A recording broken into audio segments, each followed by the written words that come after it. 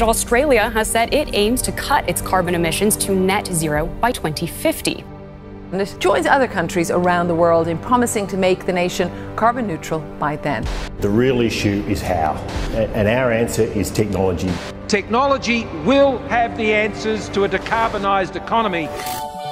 But what kind of technology? I don't think there's one silver bullet. Professor Thomas Maschmeyer was awarded the Prime Minister's Prize for Science in 2020 for his work on renewable energy and plastic waste recycling. He says while there's been plenty of talk about things such as carbon capture, the biggest game changer has been the rapidly falling price of solar energy. What other thing has decreased in price by 95% over a period of 10 years? That is enabling as input a whole lot of other technologies.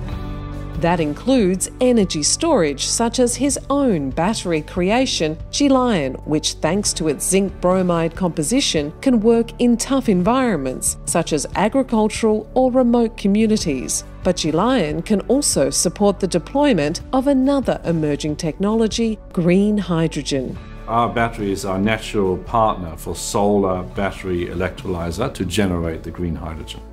Most of the buzz around green hydrogen has centred on electric cars and trucks, but it can also be used to replace coal in steel refineries.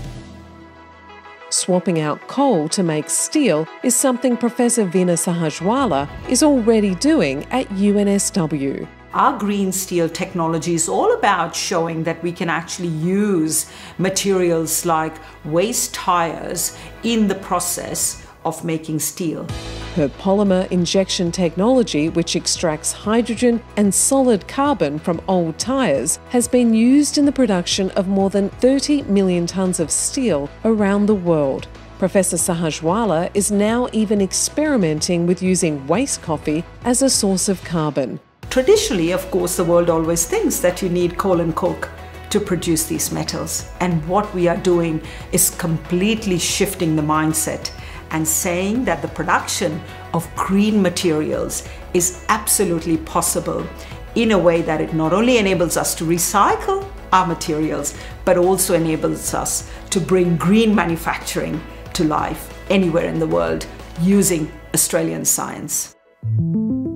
But Professor Maschmeyer cautions that science takes time. You have the idea, you've got to patent the idea in some form, you've got to build the team, You've got to validate and verify whatever your mousetrap is. It also takes money, and Australia currently spends less on research and development as a proportion of GDP than the OECD average.